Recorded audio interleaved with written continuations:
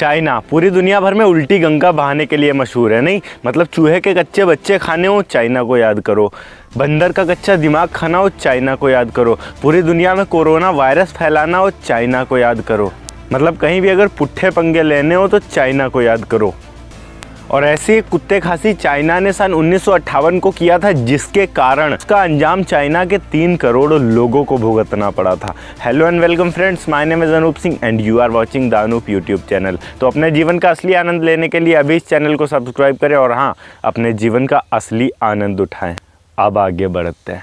सन उन्नीस सौ अट्ठावन में चाइना के फार्मर चेयरमैन माओ जेडोंग, नाम बड़े अजीब अजीब हैं। माओ जेडोंग अरे, जो भी नाम हो, इसका इसने एक अभियान चालू किया जिसके तहत चाइना में चार तरह के जीवों को एक साथ मिलकर बिल्कुल साफ़ करना है चाइना से ये कसम खा ली अब वो चार टाइप के जानवर भी जान लो कौन कौन थे? पहला था मच्छर, दूसरा था मक्खी, तीसरा था चूहा और चौथी थी गौरैया चिड़ैया। अब जज साहब, इनका कसूर भी जान लो, जिसके कारण इनको मौत की सज़ा दी गई है। हाँ। मच्छर का दोष ये था कि उसने मलेरिया फैलाई, मक्खी का दोष ये था कि उसने हैजा फैलाया, चूहे का दोष ये था कि उसने प्लेग फैलाया, पर गौरैया का तो यहाँ कोई दोष ही नहीं था। पर फिर भी वहाँ के अधिकारियों ने ये कहा कि गौरैया का ये दोष है कि वो वहाँ के किसानों का सारा फ़सल खा जाती है, जिसके वजह से किसानों को बहुत बड़ा लॉस होता है, इसीलिए गौरैया को भी मारा जाएगा। फिर वहाँ के माइयों ने उनको मारना शुरू कर दिया। अब यहाँ पर ऐसा हो रहा था कि जो मच्छर मक्खी और चूहे थे, वो लोग तो कहीं ना कहीं छुप जाते थे। मच्छर मक्खी छोटी छोटी जगहों में छुप जाते थे, चूहे ज़मीन के अंदर घुस जाते थे, पर चिड़िया, जो कि इंसानों के सबसे नज़दीक रहती है, खासकर गौरैया चिड़िया, वो कहाँ छुपती? जिसके वजह से वही इंसानों का सबसे पहला शिकार बनने लगी। और जहाँ भी उसे देखा जाता, बस सीधे उड़ा दिया जाता। अब चाइना की सरकार ने इस अभियान को एक प्रोटेस्ट की तरफ़ फैला दिया। अब जिसको जो मिलता, वो उसको पीटने लगता। नहीं नहीं, मेरा मतलब ये नहीं है, जिसको जो भी बर्तन मिलता, वो उसको पीटने लगता और बर्तन पीटने की वजह से कोई भी चिड़िया कहीं भी बैठ नहीं पाती। किसी भी डाल पर किसी भी चिड़िया को अगर बैठे हुए देखा जाता तो वहाँ पर जाकर इंसान बर्तन, ड्राम, टीन, जो कुछ मिलता, सब दे धनाधन पीटने लगते और चिड़िया को वहाँ से उड़ना पड़ता। ऐसे में कई बार ऐसा भी हुआ कि चिड़िया उड़ते उड़ते ही ज़मीन पर गिर गई। उड़ते उड़ते छोटी छोटी सी चिड़िया होती हैं, कई के पंख दर्द होने लगे, कई प्यास की वजह से ऊपर से ही गिर गिर कर ज़मीन में मरने लगे।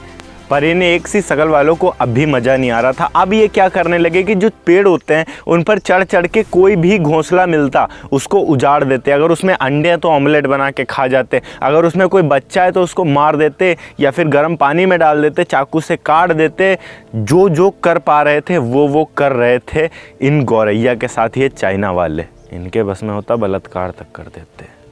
अब धीरे धीरे करके चाइना से गौरैया का अस्तित्व बिल्कुल ख़त्म सा होने वाला था। अभी तक लोग चाइना में इतने ज़्यादा बेशरम हो चुके थे कि वहाँ के स्कूल, कॉलेजों में फ़ंक्शन करवाया जा रहा था। पब्लिक में वहाँ के फ़ंक्शन करवाया जा रहा था, जो जितनी ज़्यादा गौरैया को मार रहा था, उसको उतना बड़ा इनाम दिया जा रहा था, मेडल दिया जा रहा था, ट्रॉफी दी जा रही थी।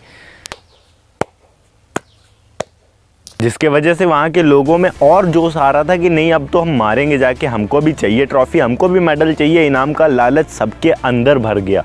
चाइना में ही एक पोलैंड स्थित दूतावास है। उस दूतावास में कई सारे चिड़िया अपना झुंड बना बनाकर घुस गए। जैसे ही लोगों को पता चला कि कई सारी गौरैया इस दूतावास में घुसी हुई हैं, चाइना वालों ने उस दूतावास को चारों तरफ़ से घेर लिया। और उसके अंदर जितने कर्मचारी थे उनको बाहर कर लिया और दूतावास को बाहर से बंद कर दिया गया। उसके बाद उस दूतावास के बाहर ड्राम रख के, टीन रख के, थाली रख के, ग्लास रख के जो जो बर्तन मिला, सब कुछ रख के पीटना शुरू किया। लगातार दो दिन तक उस दूतावास के बाहर उन बर्तनों को बजाया गया, पीटा गया, जिसके कारण अंदर आवाज़ की वजह से सारी चिड़िया मर गई और जब गेट खोला गया तो हज़ारों की संख्या में वहाँ चिड़िया की लाशें मिली अंदर। पर असली कहानी तो अब शुरू होने वाली थी, क्योंकि अब तक सारी गौरैया मर चुकी थी। अब भुगतने की बारी चाइना वालों की थी। अब गौरैया चिड़िया सारी मर गई थी, कोई भी चिड़िया नहीं बची थी। इसीलिए मात्र दो सालों के अंदर ही किसानों के खेत में इतने ज़्यादा कीड़े हो गए कि वो फ़सल को एक रात में ही खा सकते थे। इतनी ज़्यादा जनसंख्या बढ़ गई कीड़ों की। और जब गौरैया चिड़िया होती थी, वो उन कीड़ों को खा खा कर उन कीड़ों की जनसंख्या पर नियंत्रण रखती थी, पर अब कोई भी गौरैया नहीं बची थी, इसीलिए उन कीड़ों को खाने वाला भी कोई नहीं बचा। वहाँ के किसान कई सारे दवाइयों का यूज़ कर रहे थे, प्रयोग कर रहे थे, पर कोई भी काम नहीं कर रहा था, क्योंकि बहुत ज़्यादा जनसंख्या बढ़ती जा रही थी लगातार कीड़ों की। वो एक दिन मारते, दूसरे दिन उससे दुगने आ जाते। और जैसे ही इस बात का पता सरकार को लगा, सरकार ने तुरंत ही उस अभियान को रोक दिया मात्र दो सालों के अंदर, पर अब तक सारी गौरैया मर चुकी थी। जिसके वजह से उस साल चाइना में भूख का अकाल इतना बुरा पड़ा था कि वहाँ करीब तीन करोड़ लोगों की मौत हो गई थी। झाकी रही भावना जैसे प्रभु मुहूर्त देखें तिन तैसी जैसा करोगे वैसा भरोगे। इसीलिए कभी भी चिड़िया को आप कुछ भी मत करो। हो सके तो छत पर थोड़ा दाना डाल दो। मैं अपने छत पे पानी रखता हूँ। आप भी अपने छत पर पानी रखो ताकि गर्मियों के टाइम में कोई भी चिड़िया प्यास की वजह से ना मरे। और शहरों में तो वैसे भी आजकल चिड़िया नहीं दिख रही इन टावरों के वजह से। Two point movie. देखी नहीं हो तो देख लो। कुछ ज्ञान में पड़ जाएगा। वेल well, फ़िलहाल मैं तो एक ऐसे एरिया में रहता हूँ जहाँ पर अभी कुछ चिड़िया में दिखती हैं वरना हो सकता है आने वाले टाइम में यहाँ से भी विलुप्त होना शुरू हो जाए। ओके गाइस आज की इस वीडियो को लाइक एम रखते हैं। ट्वेंटी लाइक्स तो आशा आप लोग कर दोगे। मैं मिलता हूँ आपको नेक्स्ट वीडियो में एक नए टॉपिक के साथ। तब तक के लिए